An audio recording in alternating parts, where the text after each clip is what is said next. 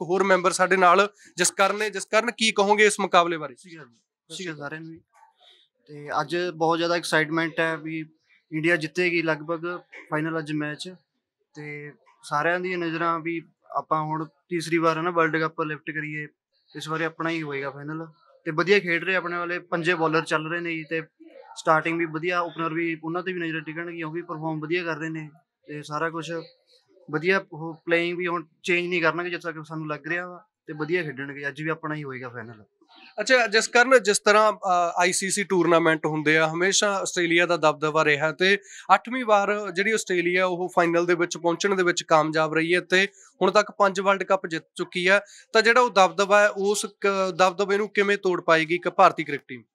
ਹਾਂਜੀ ਉਹ ਕਿਤੇ ਨਾ ਕਿਤੇ ਡਰ ਤਾਂ ਰਹੂਗਾ ਕਿਉਂਕਿ ਆਸਟ੍ਰੇਲੀਆ ਦੀ ਟੀਮ ਸਟਾਰਟਿੰਗ ਤੋਂ ਹੀ ਪੂਰਾ ਵਧੀਆ ਪਰਫਾਰਮ ਕਰਦੀ ਆਈ ਹੈ ਤੇ ਉਹ ਚੀਜ਼ ਦਾ ਕਿਤੇ ਨਾ ਕਿਤੇ ਹੋਊਗਾ। ਪਰ ਜਿਸ ਤਰ੍ਹਾਂ ਹੁਣ ਆਪਣੀ ਇੰਡੀਆ ਟੀਮ ਖੇਡ ਰਹੀ ਹੈ ਜੀ, ਮੈਨੂੰ ਨਹੀਂ ਲੱਗਦਾ ਵੀ ਇਸ ਵਾਰੀ ਸ਼ਾਇਦ ਉਹ ਆਪਾਂ ਨੂੰ ਹਰਾਉਣ ਲਈ ਵੀ ਹਾਂ ਕਾਮਯਾਬ ਹੋਣਗੇ ਪਰ ਆਪਣੇ ਇਸ ਵਾਰ ਜਿੱਤਣਗੇ ਇੰਡੀਆ ਹੀ ਜਿੱਤੂਗੀ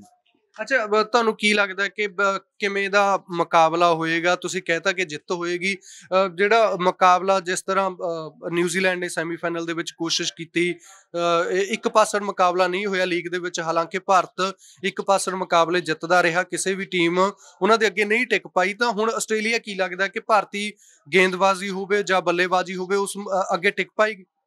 ਜੀ ਹਾਂਜੀ, ਆਸਟ੍ਰੇਲੀਆ ਵੀ ਪੂਰਾ ਵਧੀਆ ਖੇਡੇਗੀ, ਜੇ ਵਨ ਸਾਈਡਡ ਨਹੀਂ ਹੋਏਗਾ ਇਹ ਮੈਚ ਪੂਰਾ ਇੰਟਰਸਟਿੰਗ ਹੋਏਗਾ, ਦੇਖਣ ਵਾਲਾ ਹੋਏਗਾ ਤੇ ਚਾਹੇ ਬੋਲਿੰਗ ਕਹਿ ਲਓ ਆਸਟ੍ਰੇਲੀਆ ਤੋਂ ਉਹ ਵੀ ਪੂਰੀ ਮਜ਼ਬੂਤ ਹੋਏਗੀ ਤੇ ਬੈਟਿੰਗ ਵੀ ਤੇ ਮੈਚ ਜਾਣੀ ਇੰਟਰਸਟਿੰਗ ਹੋਗਾ ਪਰ ਆਪਣੇ ਇੰਡੀਆ ਜਿੱਤੇਗੀ ਇਸ ਵਾਰੀ ਪੱਕਾ